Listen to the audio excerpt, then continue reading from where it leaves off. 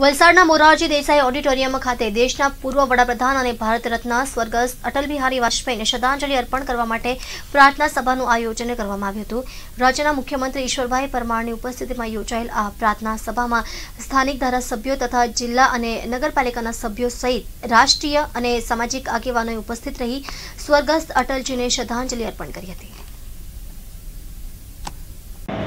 આજે આપણા દેશના પૂર્વ વડાપ્રધાન આદરણીય અટલ બિહારી વાજપેયીજી, જે આપણા દેશનો ભારત રત્ન છે. એને સ્વર્ગવાસ અને શ્રદ્ધાંજલિ કાર્યક્રમ આપણે વલસાડ જિલ્લામાં આપવામાં આવ્યો છે. આ ભારત દેશના એવું તત્વ છે, એવું ભારત રત્ન છે કે ભારત દેશ સમગ્ર દુનિયાના લોકો અટલ બિહારી વાજપેયીને માને છે.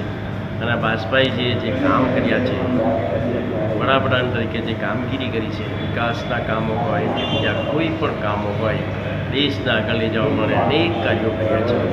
એવા બાજપાઈને આપણે કદાપી ભૂલી શકીએ એમ નથી અને વાજપેયી રોડના કામો, વિકાસના કામો, બીજા અન્ય દેશને હિતના કામો કરવા માટે સંપૂર્ણ જિંદગી એણે રાજનીતિ, રાજકારણમાં લઈને જે લોકોની સેવા કરી છે. એ ખરેખર આપણે પ્રેરણા લેવા જોઈએ છે અને એમના જીવન પરથી આપણે પ્રેરણા લેવી જોઈએ.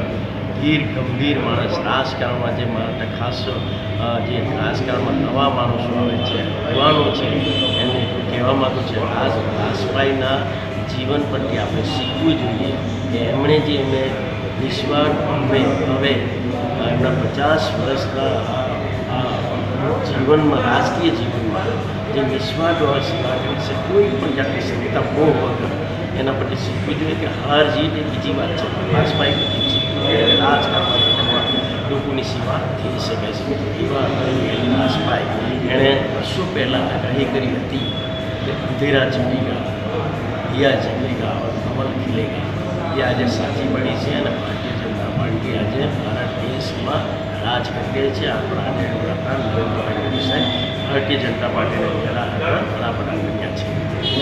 આવા, આ આવા વડાપ્રધાન આદરણીય સ્વર્ગસ્થ અટલ બિહારી વાજપેયીને આપણે ખરેખર શ્રદ્ધાંજલિ સુમન સુમન અર્પણ કરીએ અને એમની જીવનમાંથી આપણે પ્રેરણા લઈએ કે આવનારા દિવસોમાં જે કોઈ હોય મનભેદ ભૂલીને વાજપેયીના જીવનની માર્ગદર્શન મેળવીને આપણે લોકોની માટે હંમેશા તત્પર રહીએ. આજના પ્રસંગે એટલું જ કહીશું કે અટલ બિહારી વાજપેયી તમે અમર રહો અને તમારા જીવન પ્રત્યે અમે હંમેશા પ્રેરણા લઈશું. તમારો ઋણ અમારા પર સદાય છે અને સદાય રહેવાનું છે. અને એ જ માર્ગદર્શન સાથે અમે રાજકીય પ્લેટફોર્મ પરથી લોકોની સેવા કરતા રહીશું. ફરીથી અટલ બિહારી વાજપેયીને અમે સંઘર્ષ બનાવો